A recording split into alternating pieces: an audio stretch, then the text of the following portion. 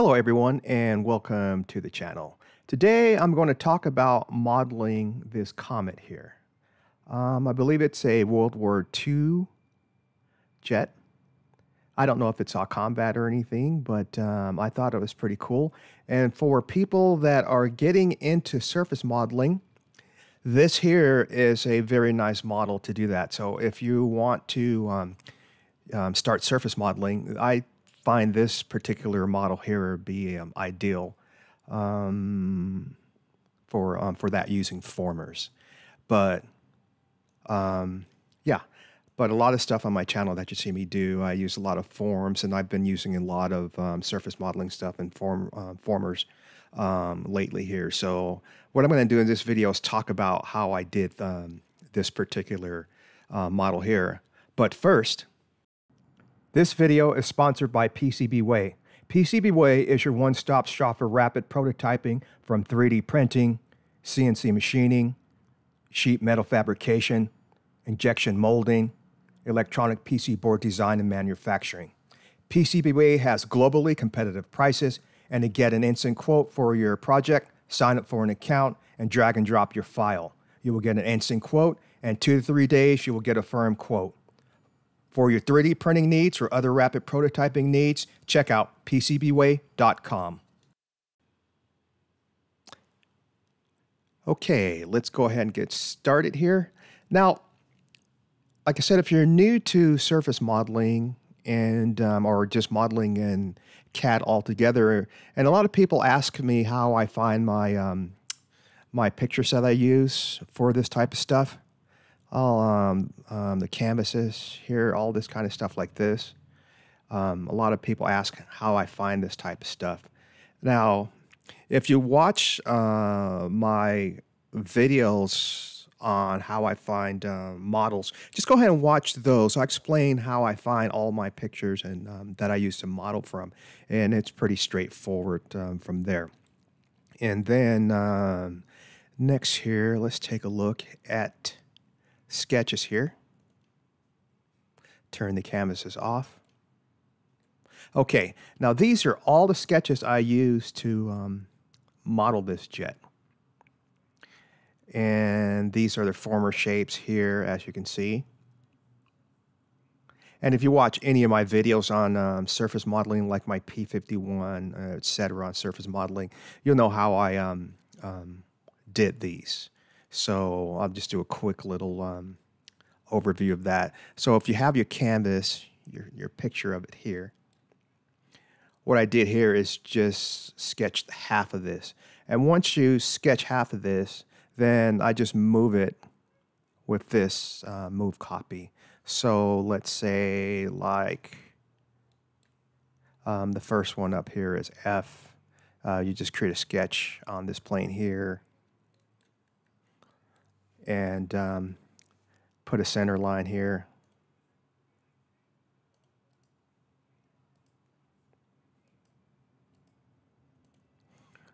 Then um, I used a three-point arc here to get rest of that.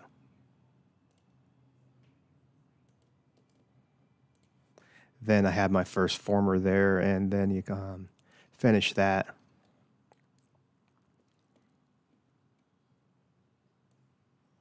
And so that's going to go up here. And then to move that up there, all you do is um, click Move Copy here. And change this to Sketch Objects. Now, it's important that you select the right point and you want this point here because we're going to move this and this is a center line that all these other formers are based off too. And then um, you just move it to wherever you need it to be.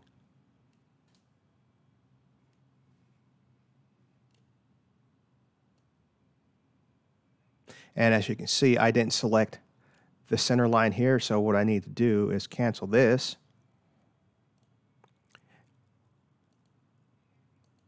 And move that back there. And I need to select this line also. Oops. Let me do that all again. Okay, first select this and this line here. Now I can move the whole thing wherever I want to. And then you just move it up um, up there. And once you move it there, um, then just come to the top here and just rotate it so you have it 90 degrees or um, 270. And then click OK, but I've already done it. And you do that with the rest of these as well.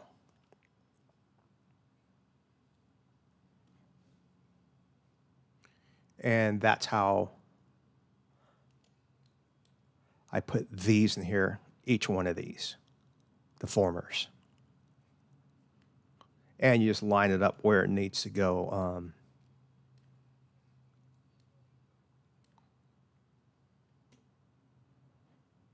and put it where it, it goes in here.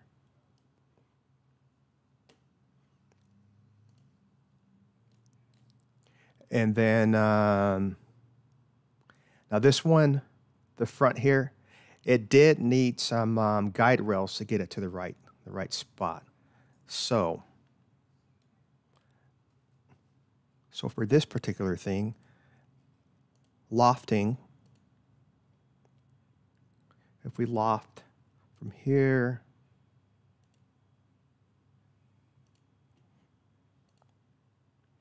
let me turn some of these other things off.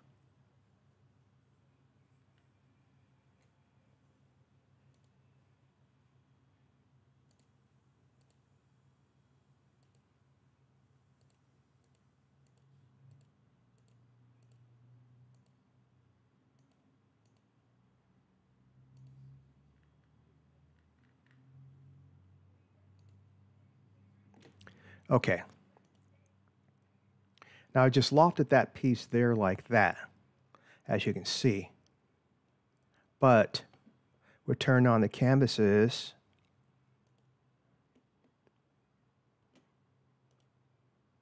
And now this looks okay from the side, but this doesn't look that great from the top here. Because this needs to come around here, and this is actually trying to go straight here. So what you need to do is add rails to this, guide rails, like I did.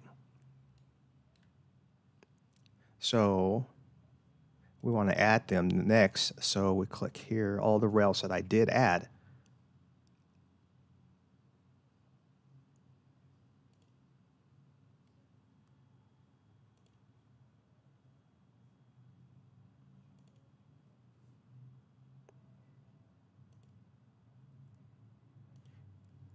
Now, that looks a lot better by adding those guide rails.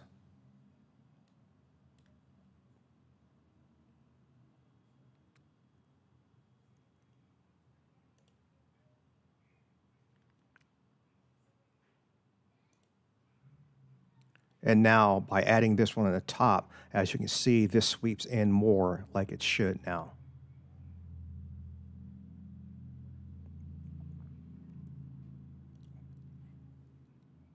So when you're modeling, um, surface modeling,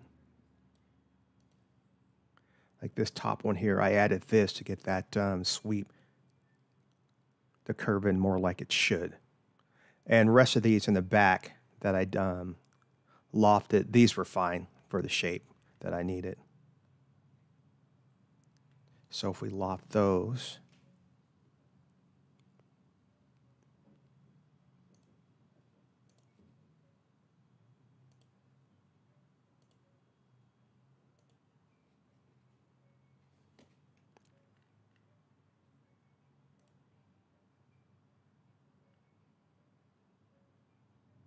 We turn these off again.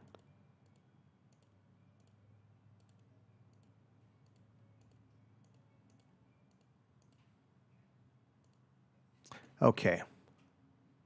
Then we have that in the back. Uh, this one too. Then we have that, and that looks fine.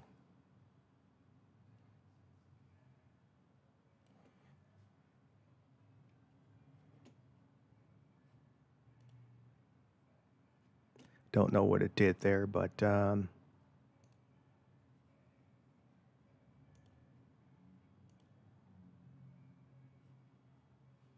turn all these off again.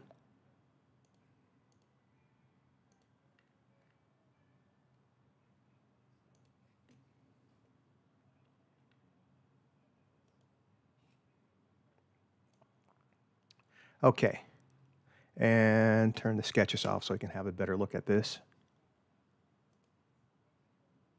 And turn the canvases on. And as you can see, that um, the shape of that is fine. And it did not need um, guide rails here on the top and bottom or the middle section. This is fine.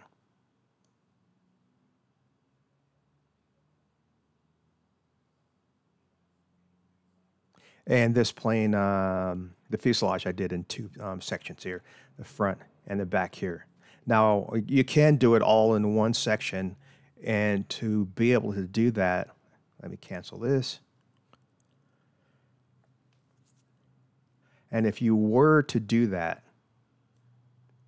all in one, all these rails that I've added here, um, so like the bottom here, all these that come up through here, all these rails, they would have to extend and touch each one of these formers back here. Because if they don't touch the former, it won't let you loft to it. So um, if you do decide to make this all one, then you would just, when you draw this line down here or this rail here, you would just have to extend it through each one of these points here and the top one through each one of these points as well and then the side ones and um, touch each one of these um, also. But this here also, this is the spline cage of the jet. And as you can see, not a whole lot here to get the shape that we need it. And um, yeah. And also, let's see here. Let me turn the bodies back on here and turn the sketches off. Now, as you can see here, we've got this nice blend through here, G1 through here. So if we turn the lines off by using Control 4, you can see it's a nice smooth blend. So if you um, 3D printed this, you'd have that nice smoothness, that G1 into the fuselage and into the wing. And to do that, um, check out my video on um, surface modeling, how to blend a wing into a fuselage. That explains how I um, um did this and it's not very difficult to do. It's um, you know more surface modeling, and I'll do um, tell you quickly how I did that. So let's turn the sketches back on and turn the canvas on also. So what I did was draw or sketch this. Have a better look at it. I sketched this here on the center plane. And once I sketched that on the center plane, then I cut um, that out of the fuselage. So let's see here.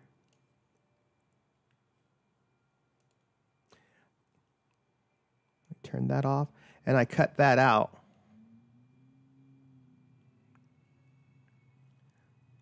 The top and bottom.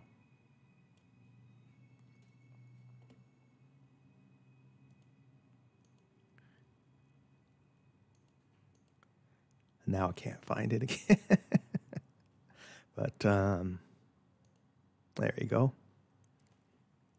And um, once I cut that out, then I put a plane here and then um, sketch the outer um, profile of that wing onto here, then loft it from here to here and use the G1 um, continuity for that.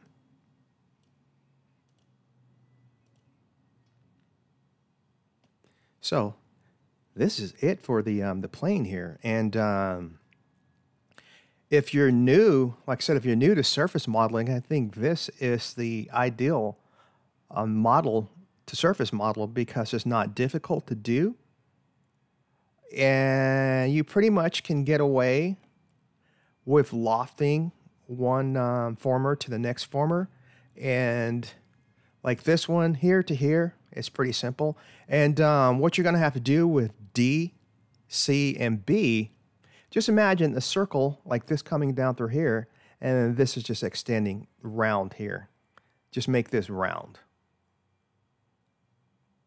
Because this here, it's obvious you can't loft D to E. So when you make this um, round here, it lofts perfectly to this. And then the wings added to it um, later will um, give you the shape like this here. I turn these sketches off and the canvas. Once you loft all that, it's going to give you that smooth um, continuity like you need um, for this. So, like I said, uh, watch my video on how to um, blend a wing into a fuselage. You can learn how to do that. And it's like I said, it's not um, hard to do and watch my video on how I do um, um, windows. And that's not hard to do either, like this. Now, this particular model, um, you can do this with forms also, but to be honest, I um, um, looking at this. This is like I said, this is the ideal model to do and surface modeling. This is um, really good. And um, if you guys want to see me show you guys how I um, modeled this, um, a video on this, how to do this, just let me know down in the comments. And if I have enough interest, I'll go ahead and show you guys how to uh, model this as well in um, Fusion. And you should be able to do it in SolidWorks or any other CAD program also. And um, um, in my opinion, SolidWorks and um, and Fusion 360 or um, um, out of those two, if you know how to use one, you have an advantage um, learning the other one. Because to me, SolidWorks and um, Fusion 360 are very similar. Even Plasticity, it's um, very similar too. Just some different things you have to do to do some things. And um, so, yeah.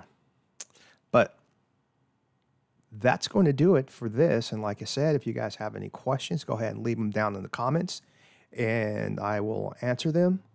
And um, I invite, excuse me, I invite you to join my Patreon site and my Facebook group. Go over there, have a look at things, and um, if you have any questions, go and ask them there also. And um, a lot of people and, and I um, will be gladly to help you out there. And also, um, I think I told you guys in my last video, I'm trying to make this my full-time job here um, is teaching you guys how to model these airplanes in, um, in CAD here. So um, if you can support the channel just by subscribing, go ahead and do that. That'd be great. Also, if you can support the channel through um, Super Thanks down below or over on my Patreon site. So yeah, so go over there and have a look at everything. And um, if you can, go ahead and join or the least little thing, just go ahead and um, subscribe to the channel. And so yeah, but anyway, that's going to do it for this video, and we will catch you in the next one. Subscribe for more.